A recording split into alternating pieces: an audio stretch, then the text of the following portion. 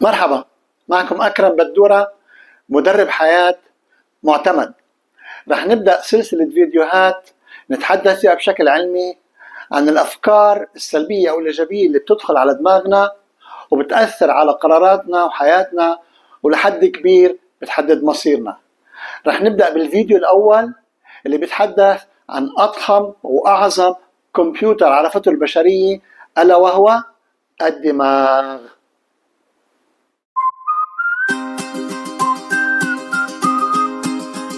تم تشبيه الدماغ البشري بحبة الجوز ولكن ما في أي دليل علمي يثبت أنه هذا الشيء له علاقة بعمل الدماغ إلا إذا أخذنا الناحية الغذائية. يقال أنه حبة الجوز مفيدة للدماغ ولا عمل الدماغ. ينقسم الدماغ إلى نصفين النصف الأيسر والنصف الأيمن وحسب إحدى النظريات العلمية كل نصف له مهام محددة تعال نشوف شو هالمهام. يختص النصف الأيمن من الدماغ بالعواطف والمشاعر الإبداع الخيال الفنون التلقائية أي العفوية لغة الجسد أحلام اليقظة التفكير الملموس المادي يعني والتفكير العام بدون دخول بأي تفاصيل بينما يهتم النصف الأيسر من الدماغ بالقراءة الكتابة التكلم الرياضيات العلوم الترتيب التسلسل.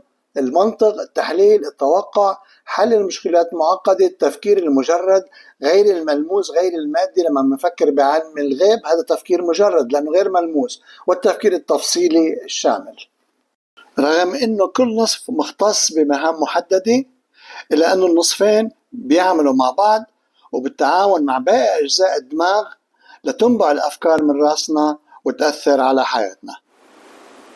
أتمنى أن يكون الفيديو نال إعجابكم تابعونا بالحلقات القادمة على كل وسائل التواصل الاجتماعي. سلام.